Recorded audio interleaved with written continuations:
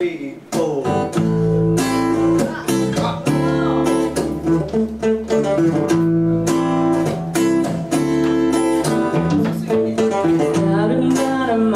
Just the past time. There's something wrong.